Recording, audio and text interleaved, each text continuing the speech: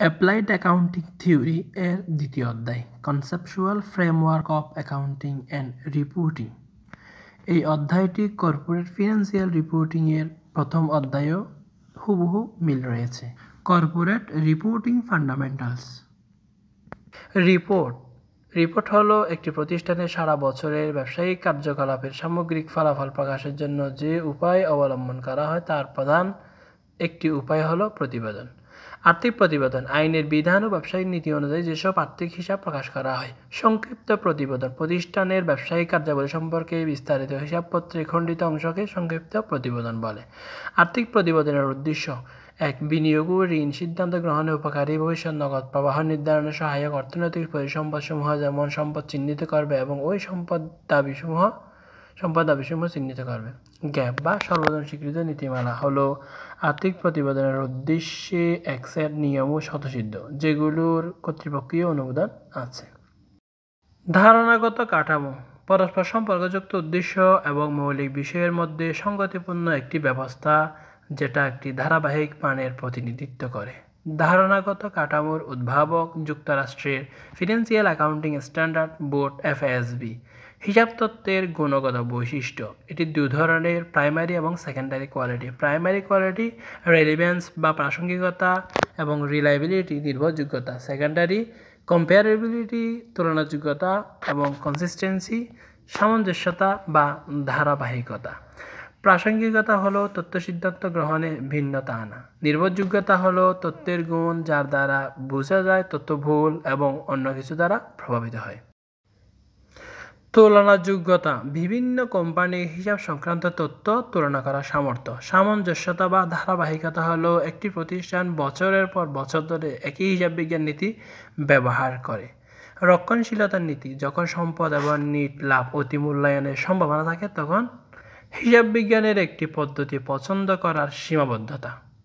হিসাব বিজ্ঞানের তিনটি C cost conservatism and consistency materiality বিনিয়োগকারী বা পাওনাদার কর্তৃক কোনো সিদ্ধান্ত গ্রহণের জন্য কোনো একটি বিষয়ের প্রভাব ওই সিদ্ধান্ত গুরুত্বপূর্ণ কিনা নির্ণয় করার সীমাবদ্ধতা। Matching principle.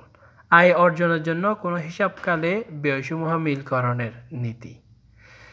হিসাবের অনুমান বা assumption economic entity monetary unit time period going concern এগুলো হচ্ছে কি অ্যাজামশন ইকোনমিক এন্টিটি হলো অর্থনৈতিক সত্তার কার্যক্রম এবং মালিকের কার্যক্রমকে পৃথক করার অনুমান।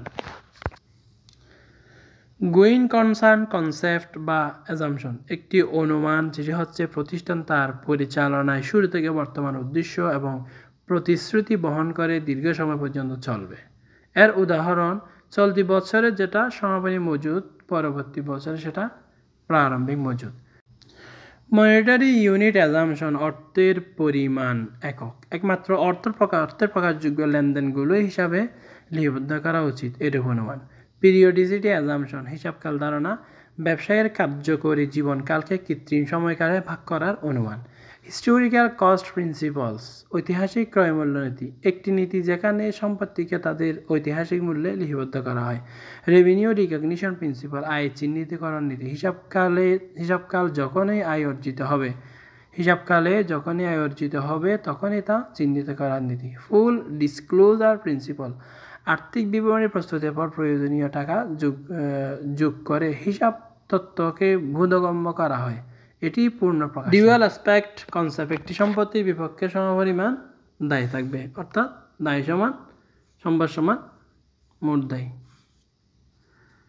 Full meaning of following abbreviation B financial accounting standard board triple A American accounting association SEC securities and exchange commission IFRS international financial reporting standards AICPA American Institute of Chartered Public Accountants, ICAB, Institute of Chartered Accountants of Bangladesh, ICMAB, Institute of Cost and Management Accountants of Bangladesh, uh, GAP, Generally Accepted Accounting Principles, AIAS, International Accounting Standard,